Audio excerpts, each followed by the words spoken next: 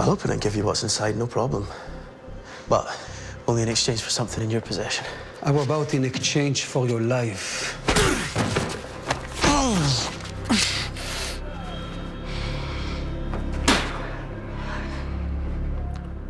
No deal. A man with nothing to lose. Okay, listen, because I'm only going to say this once.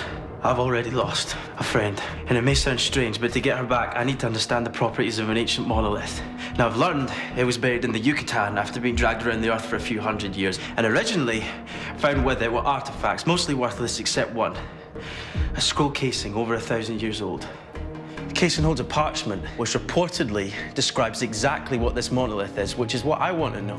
Now, I tracked the scroll casing, not easy, through history to Mosul's Central Museum in Iraq. But it was taken by your extremist buddies when they ransacked the place this year, and now I'm 90% sure it's in this room. So, you can either hand it over in exchange for what's in there, or you can spill my guts in the sand and use the briefcase as a booster seat.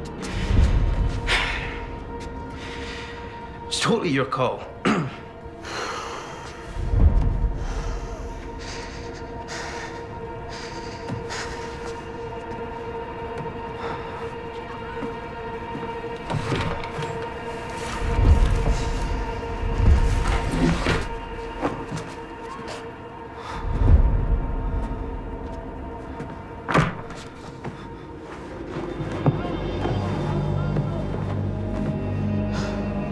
Now, open the case.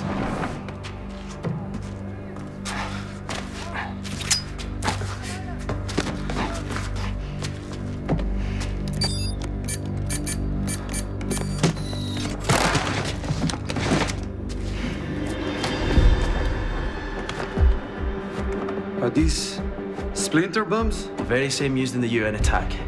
And used to kill Sunil Bakshi. That name should mean something to you. One of these killed them? Yeah, separated his atoms, leaving no remains. This woman you went all this trouble for. You love her, yeah? Yeah.